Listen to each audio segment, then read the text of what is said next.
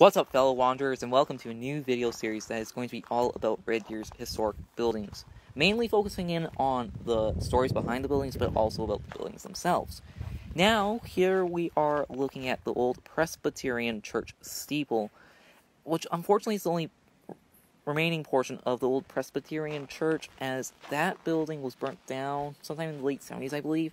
But with the Presbyterian church having such an impact on Red Deer's early history, the steeple salvaged as to serve as a memorial to that church in Heritage Square.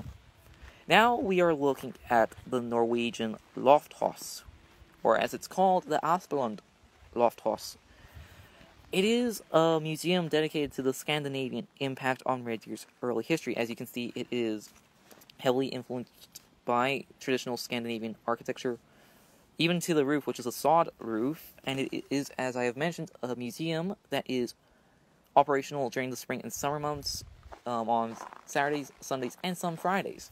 Now we are approaching the Gaetz Library, which is the only remaining portion of the retirement home built by the Reverend Leonard Gaetz, who arrived in the Red Deer area in 1884 with his wife and 10 children. Reverend Gaetz was the first to homestead what is now downtown Red Deer, and in 1901, Reverend Gaetz moved back to Red Deer from Brandon, Manitoba, and built Woodlea Cottage on 56th Street. In response to his wife's failing health, Reverend Gaetz constructed the library annex, where he could work and meet with friends without disturbing Mrs. Gaetz. I found this particularly interesting to me as I live in the subdivision called Woodlea in Red Deer, and to learn that one of your city's founding fathers built a home and then named it after your, well, named it for a subdivision that hadn't been built yet was fascinating. Now we are looking at the a recreation of Red Deer's first school, the Crossing School, which was originally built near the Fort Normandeau area, and as you can see, it is heavily influenced by the pioneers that came in from Ontario in search of land, because a lot of the buildings back, back out east were dark uh, wood buildings. And I've been inside this recreation. It's fascinating. So they have the old Union Jack, the um, desks are all set up like they would have been in the original. The first graders would sit in the first row, and then so on and so forth.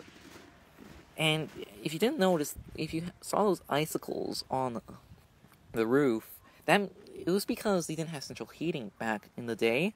So how they would heat these buildings, schools, houses, whatever, would be either through fireplace, gas stove, and wood stove, which was the case in the crossing school. Now we have moved on to Red Deer's oldest surviving building, the Stevenson Hall Block, which was built in 1891 to house the grocery business of Messrs. Stevenson, and Hall.